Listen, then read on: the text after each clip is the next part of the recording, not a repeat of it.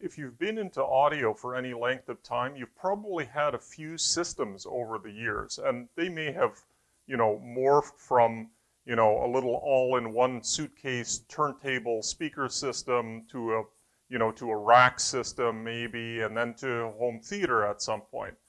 Today, I'm really interested to hear, if you'd like to share with us, what was your first pair of real speakers? And by that I mean not something that came in an all-in-one suitcase system. I specifically would love to hear about the speakers, the first pair of real speakers that you got.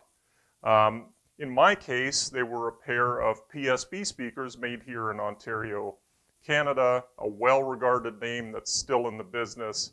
Um, I got them when I was about 11 or 12 years old. I, I bought them used my dad was in the audio business, so you know this is something that I was really born into. But I had those speakers through until late high school, maybe you know 1988 or 89 or something like that, and uh, I loved them. I absolutely cherished them, and I didn't actually get rid of them. They got they got passed down to uh, a friend uh, when I decided to upgrade. So let me know in the comments below what was your first pair of real speakers and you know, if you want to tell a story about how you got them or how you saved up for them, that would be great. Thanks a lot.